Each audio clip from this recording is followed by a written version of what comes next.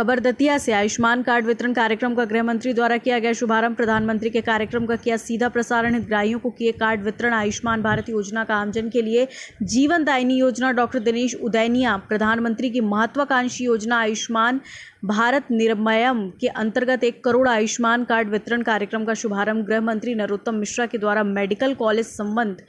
जिला अस्पताल के नवीन ओपीडी भवन में किया जिला अस्पताल के आयुष्मान भारत योजना के nodal officer doctor Jayant Yadav के द्वारा बताया कि ज़िले में अब तक तीन लाख उन्नीस हज़ार पाँच सौ संतानवे आयुष्मान कार्ड जनरेट किए जा चुके हैं, जो कि बयासी प्रतिशत से अधिक हैं। मेडिकल के आयुष्मान को ऑर्डिनेटर डॉक्टर मुकेश शर्मा द्वारा बताया कि मेडिकल कॉलेज संबंध ज़िला अस्पताल में अभी तक पच्चीस हज़ार एक सौ नब्बे मरीजों को उपचार मिला, जिसमें कुल राशि करोड़ अड़तीस लाख छप्पन हज़ार छः सौ बयासी का लाभ दिया। ज़िले के कलेक्टर संजय कुमार के द्वारा बताया कि एक समय विश्व में ओबामा केयर की बड़ी चर्चा थी, लेकिन आयुष्मान भारत योजना संपूर्ण विश्व की सबसे बड़ी स्वास्थ्य कल्याणकारी योजना है। इस अवसर पर कलेक्टर संजय कुमार, पुलिस अधीक्षक Pradeep Sharma, medical dean doctor Dinesh Udainiya, C M H O Datia, doctor R B Kurele, शहर के वरिष्ठ चिकित्सक और समाज सेवी मौजूद रहे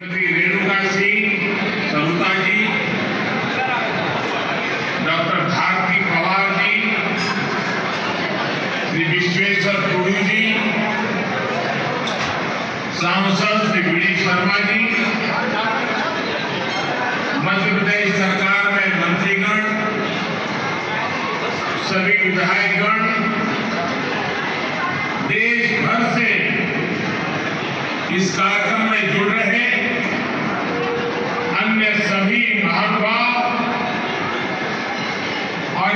खबर भारतवर्ष के लिए दतिया से संजय शर्मा की रिपोर्ट।